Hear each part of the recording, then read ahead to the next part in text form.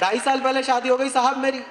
ढाई साल में उसने मुझे इतना ज्ञान दे दिया जो ऋषियों को करोड़ों जन्मों की तपस्या के बाद प्राप्त नहीं होता। नई नई शादी हुई मैंने डॉक्टर प्रवीण शुक्ला जी को फ़ोन किया। ये सीनियर पति है। मैंने इन्हें फ़ोन करके पूछा कहा भाई साहब, मुझे कोई ऐसी टेक्निक बता दो कि मैं अपनी बीवी का जन्मदिन कभी ना भूलूं। इन्होंने मुझे जो जवाब दिया, अगर बात समझ आ जाए, जिन्हें बात समझ आए, वो हाथ खड़े करके तालियाँ बजा देना, केवल वही बजाना जिन्हें समझ आए। एडवांस पेमेंट नहीं। मैंने कहा, भाई साहब, मुझे कोई ऐसी टेक्निक बता दो कि अपनी बीवी का जन्मदिन कभी ना भूलूं। बोले, एक बार भूल जा।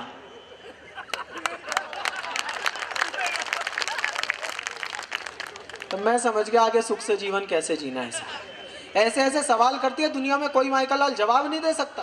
पिछले दिनों मेरा जन्मदिन आया तो आके मुझसे पूछने लगी जानू मैं तुम्हें बर्थडे पर क्या गिफ्ट दूँ? मका तू मेरी बात सुन लिया कर। घर में हंस बोल कर रह लिया कर। कभी ये मेहमान लोग आ जाए तो इनकी इज़्ज़त कर लिया कर इतना बहुत है। अगली ने दो मिनट तो सोचा जी। फिर बोली ना मैं तो गिफ्ट ही दूँगी। बहुत बहुत अच्छे तो हमारा काम गिफ्ट से ही चल रहा है साथ वो वही करती है जो वो करना चाहती है। अच्छा आदमी अपने घर के कलेश फिर भी झेल लेता है। समस्या तभी आती है जब मेहमान आ जाते हैं। पिछले दिनों आपके विधायक जी मेरे घर आए। मैं अपनी पत्नी के साथ खड़ा हुआ था। देखकर भावुक हो गए। बोले, चिराग जैन, तुम्हारी जोड़ी तो राम सीता जैसी है। मैंने कहा, जी, खाक राम सीता जैसी है। ना यो धरती में समाती ना इसे कोई ठाके ले जाता। हम जानते हैं ना हमारे साथ क्या हो अच्छे रहा है। अच्छा हमारे यहाँ पति पत्नी संबंधों की बहुत बातें की जाती हैं। क्यों की जाती हैं? आज उसका बेसिक कारण बता देता हूँ। हमारे एक परंपरा है पति और पत्नी में कितना भी प्रेम हो 24 घंटे में एक बार झगड़ा ज़रूर करना है। ये नियम है। बाद में यह नियम टूट ना जाए इसलिए इस कार्यक्रम को सुबह सुबह निपटा लिया जाता है। आदमी झगड़ा करके काम धंधे पे निकल जाता है। औरत घर में कुड़ती रहती है। सुबह के इतने से कलेश को शाम तक इतना बड़ा बना लेती है। अब वो एक भाई साहब झगड़ा करके निकल गए। इससे पेमेंट लेनी है उसका माल जाना है इसका चेक आना है इसमें सुबह का झगड़ा भूल गए। शाम को मौसम थोड़ा रोमांटिक हुआ। भाई ने घर पर फ़ोन किया। डार्लिंग डिनर में क्या बना रही हो? अगली तो भरी भरी थी जी।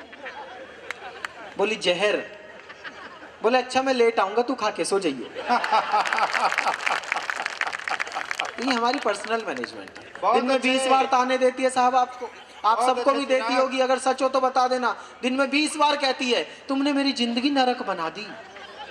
कोई ढंग का मिला होता तो मैं कितनी खुश रहती। एक दिन मैंने यही लपक लिया। मैंने कहा देखो मनुष्य यदि प्रसन्न रहना चाहे तो प्रसन्नता उसके भीतर होती है।